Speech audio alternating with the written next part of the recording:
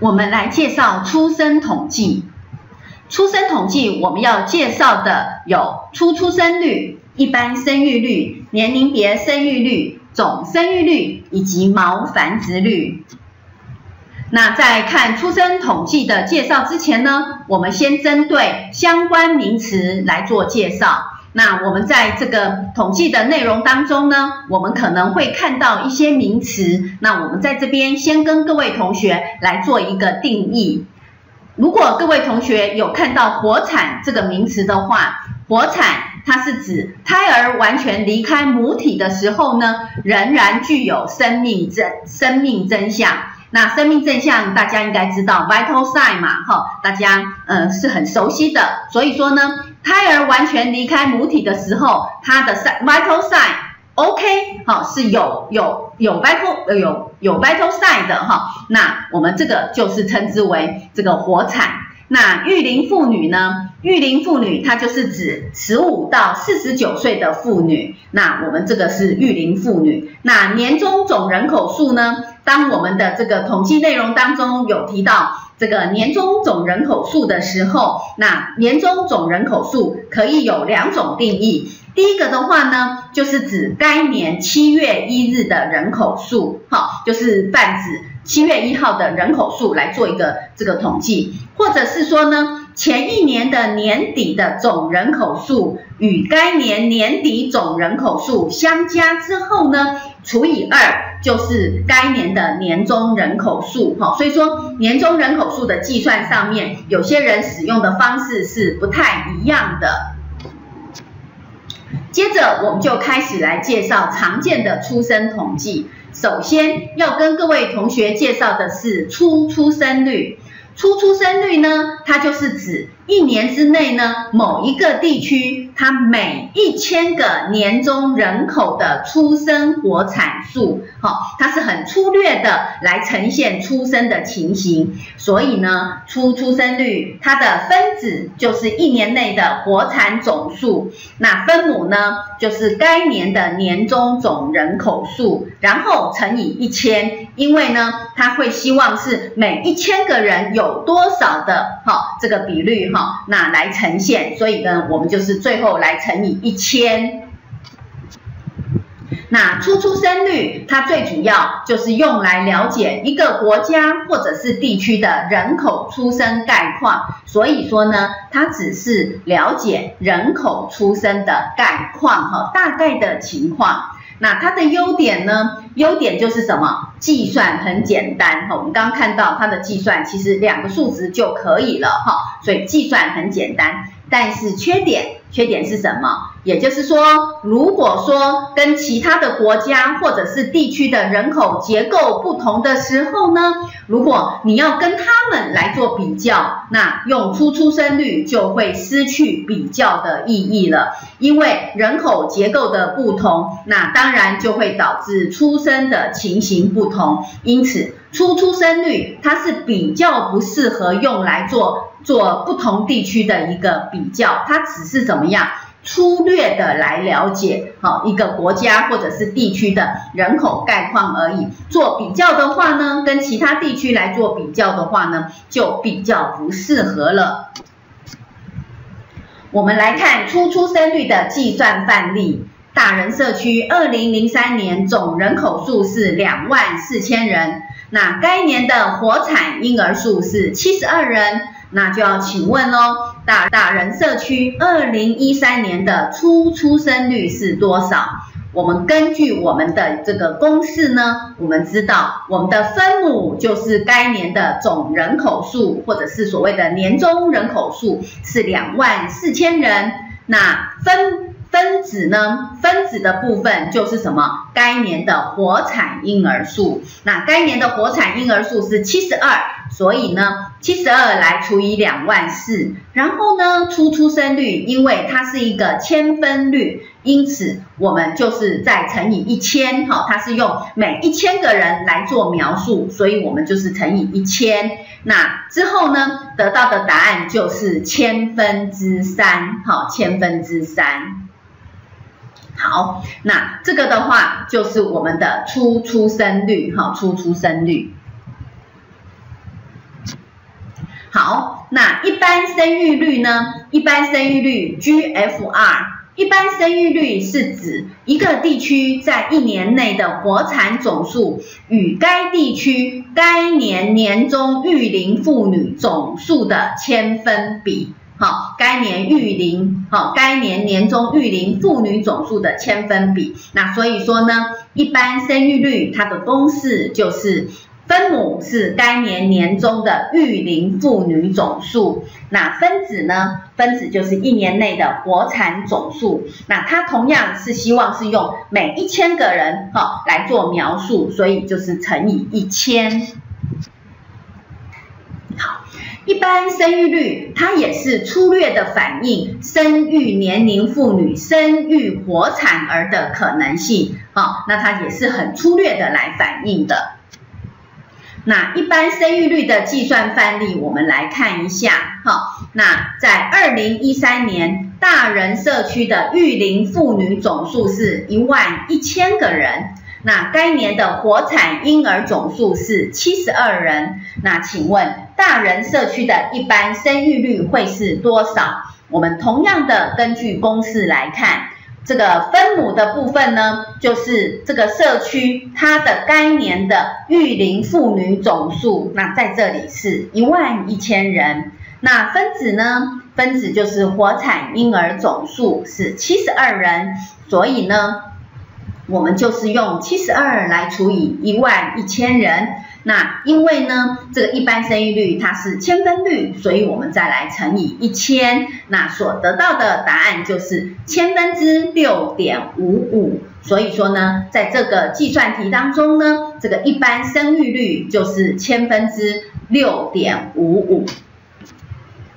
那至于年龄别生育率呢？AFR 哈，这个年龄别生育率，那它就是有特别的针对这个某一个年龄别来进行探讨。那我们来看哈，一般嗯，一个地区在某一年内的某一个年龄层的妇女，她全年所生的活婴总数，与该年该地区。该年龄层的妇女总数的千分比就是年龄别生育率。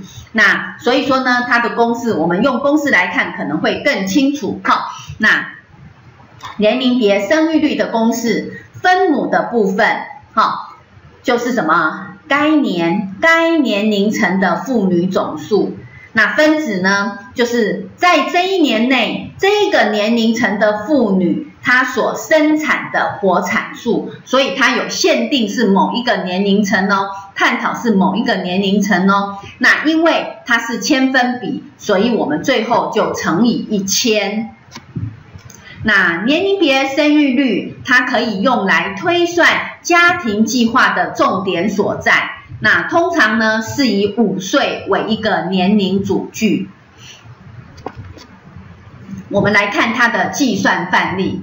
二零一三年大人社区三十五到三十九岁的育龄妇女总共有八千人，那该该年龄层妇女所产的活婴总共是有什么四十名？那请问大人社区三十五到三十九岁妇女年龄别的生育率是多少？那因为这边限定的是什么？三十五到三十九岁，好，那所以说呢，我们就是针对三十五到三十九岁的年龄别生育率来看，好，那分母的部分就是三十五到三十九岁的育龄妇女总共是八千人，那分子呢？分子就是这八千名的妇女，哈，这一个社区，哈，这一个年龄层的妇女，她所产的婴儿总数是四十个，所以说呢，四十来除以八千，那因为是千分率，所以说呢，再乘以一千。因此得到的答案就是千分之五。那千分之五呢？它就是指三十五到三十九岁的年龄别生育率，也就是说，三十五到三十九岁的妇女，她们的一个生育的情形是千分之五。那刚刚有提到年龄别生育率，它可以看，它可以探讨不同年龄层的一个生育状况，可以作为什么家庭计划的参考。因为如果说这个一位社区卫生护理人员的话，他发现到什么？他这个社区的什么十五到十九岁的这个年龄别生育率远高于其呃全国其他社区的话，那他就要注意喽。因为大家知道，十五到十九岁生产的话，这个对于这样子的一个妇女来讲，其实身体呀、心理呀、整个社会都有蛮大的影响。因此，如果一个社区卫生护士发现到自己这个社区的十五到十九岁的年龄别生育率特别高的时候，那么这个社区卫生护士他在妇幼卫生的部分，可能就要特别加强在什么十五到十九岁的妇女她们避孕措施的提供了，哈。避孕措施的教导了哈，以免十五到十九岁的年龄别生育率这特别的高哈，所以说呢，我们才讲年龄别生育率它是可以去作为什么不同年龄层妇女他们在生育上面的一个哈一个计划的探讨。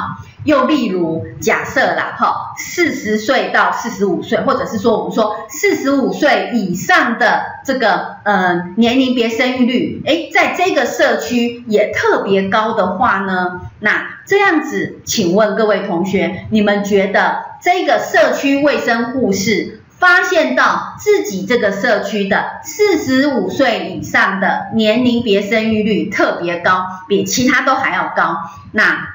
请问各位社区卫生护士，呃，社区卫生护理师，那请问你可以做什么样子的计划？大家可以想想看，有没有同学想到了呢？老师认为，当然四十五岁以上在生育的话呢，可能着重点就是在什么？优生保健的计划了，好，就是优生保健哈。那因为四十五岁以上的妇女，可能很多的一些因素啦，哈。那如果说生产，哎，生产情形还是很高的话呢，那就要特别注意所生产出来的孩子，哈，他们这是他们的一些这个小小 baby 的一个健康状况。那要有良好的小 baby 的健康状况的话，这些这个这些四十五岁以上的妇女，她们可能什么？